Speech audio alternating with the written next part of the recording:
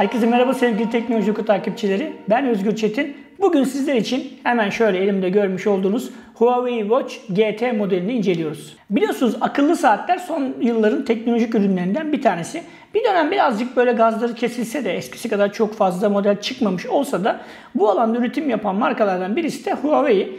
Biliyorsunuz markanın telefonları da var, akıllı bileklikleri de var, aynı zamanda akıllı saatleri de var ve bunlar yavaş yavaş Türkiye pazarında satışa sunuluyor. Huawei Watch GT firmanın en yeni modellerinden bir tanesi. Bu saatin iki farklı modeli bulunuyor.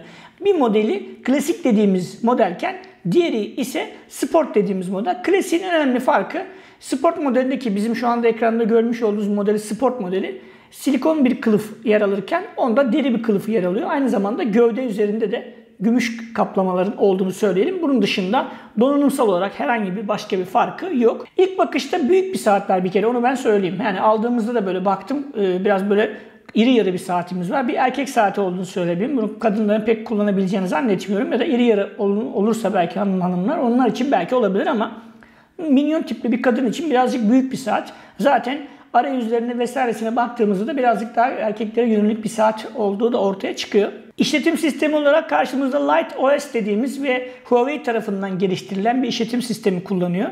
Saat bize ilk geldiğinde 12 tane teması bulunuyordu. Yani arayüz olarak baktığımızda farklı saat arayüzleri yer alıyordu.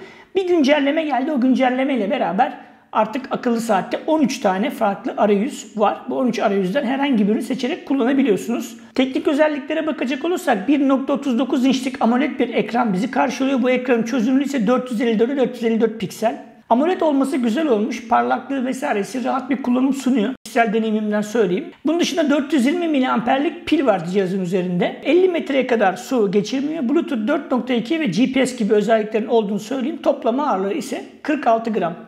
Şimdi gelelim saatin, bu akıllı saatin Huawei Watch GT'nin kullanımla ilgili deneyimlerine. Ben aldım bunu. Aldığımda %100 şarj ettim. Yaklaşık bir hafta, bir haftayı da geçti öyle söyleyeyim. Bir hafta, 10, yani 10 güne doğru gidiyor şu anda. Hala da yüzde 30 yüzde 40 oranında şarjımızın olduğunu söyleyeyim. Yani epey uzun bir şarjı gidiyor. Normal bir kullanımda eğer e, nabız takip özelliği var çünkü bunun gerçek zamanlı takip ediyor. Yani sürekli bir nabız takip etme özelliği var ki arka yüzde zaten şurada hemen göstereyim. Algılayıcılardan görüyorsunuz bunu. E, nabız takip özelliği açıkken bile ortalama 2 hafta pilinin gittiği söyleniyor. Çok çok iyi bir rakam. Bence akıllı bir saat için çok çok iyi bir rakam. Nasıl şarj ediyoruz onu göstereyim hemen. Şöyle bir tane e, üzerinde manyetik e, mıknatısları olan saatin arkasına çat diye yapışan bir şöyle göstereyim isterseniz. Şöyle bakın yapıştı şu anda. Şöyle tutayım. Görüyorsunuz siz de. Bu şekilde yapışan ve USB Type-C'den bağlantısı olan, Type-C bağlantısına sahip olan bir adaptörü şeyimiz var. E, şarj cihazımız var. Bunu herhangi bir kutusundan çıkan bir USB kablosu var.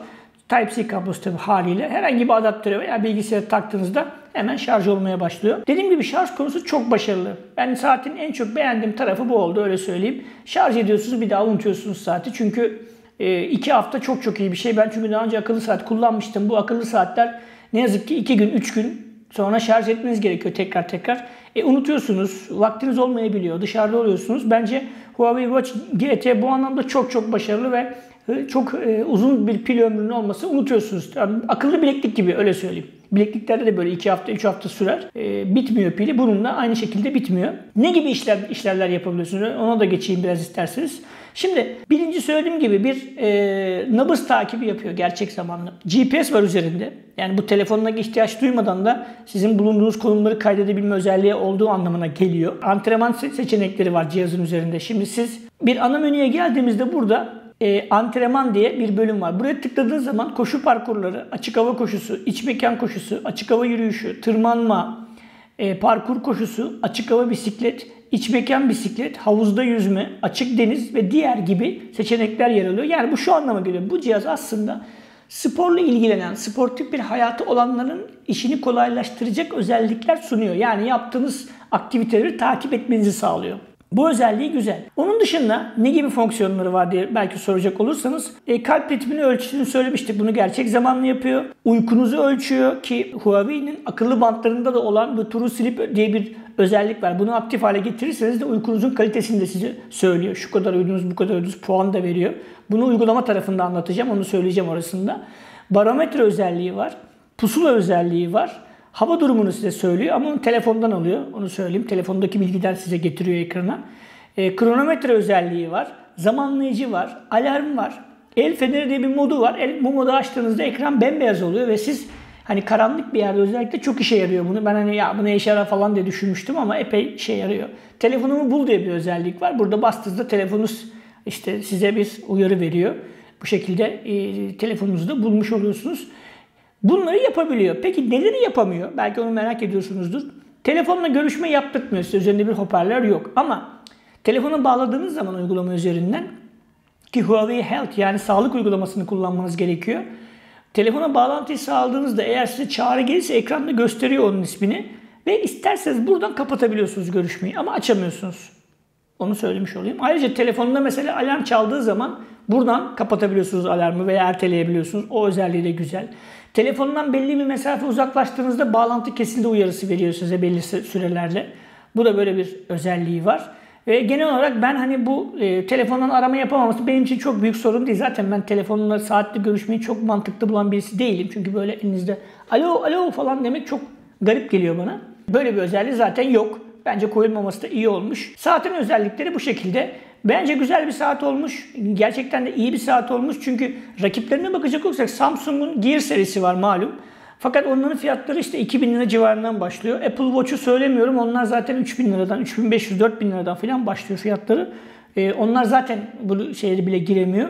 Hangi kim rakip olabilir peki? Çinlilerin güzel saatleri var. Öyle söyleyeyim. Özellikle yurt dışından getirtebileceğiniz hani o yüzden de fiyatları nispeten daha makul olan Xiaomi'nin ki Xiaomi'nin Türkiye'de satılıyor şu anda o saatleri. 700-800 liraya bulabileceğiniz saatleri var. Bunlardan bundan daha ucuz. Onlar rakip olabilir. Olabilir mi? Evet olur. Yani o tarz böyle işte Samsung, Apple Watch gibi değil de Xiaomi gibi veya farklı markaların da bu tarz saatleri var.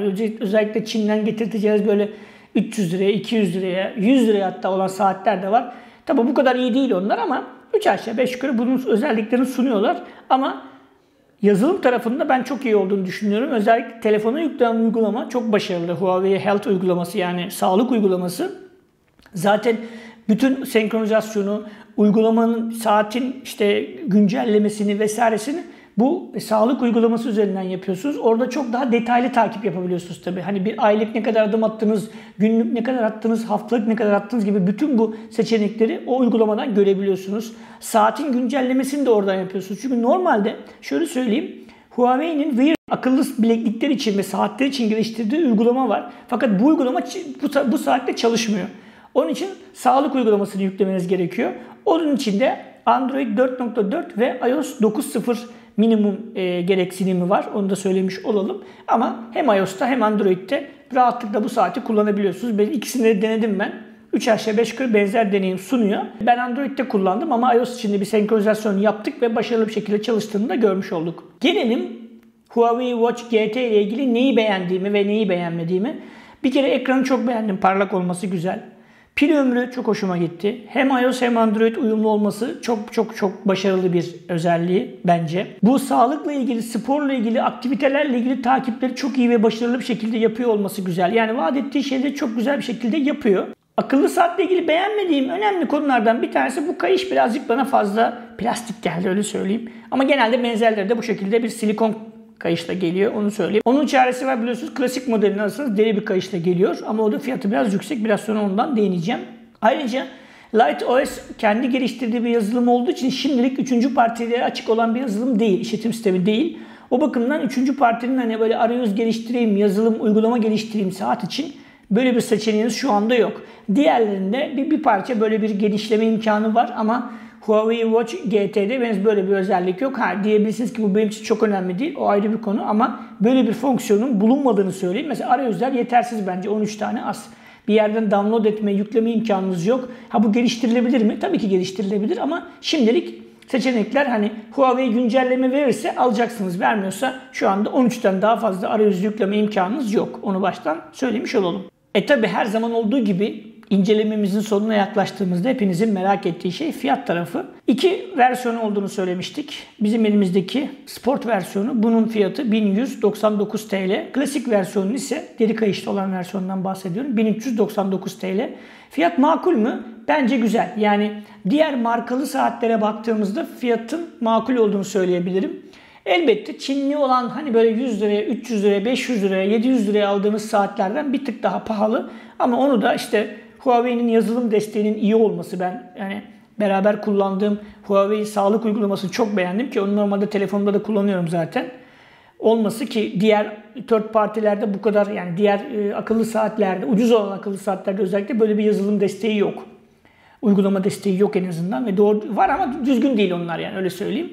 Huawei'nin böyle bir yazılımının olması bence önemli bir artısı. Fiyat verilir mi? Bence verilir. Ama az önce de bahsettiğim gibi artısı var, eksisi var. Hepsini değerlendirdikten sonra bu ürünün bu fiyata değip değmeyeceğine siz karar vereceksiniz. Biz anlatıyoruz, diğer fikirlerimizi paylaşıyoruz. Gerisi artık size kalmış. Evet Huawei Watch GT'nin artısıyla eksisiyle değerlendirildiği videomuzun sonuna geldik. Siz de görüşlerinizi bu videonun altına yazabilirsiniz. Videomuzu beğenmeyi unutmayın ve kanalımıza abone olmayı asla ve asla unutmayın. Farklı bir videoda, farklı bir içerikte karşınızda olmak üzere. Hoşçakalın.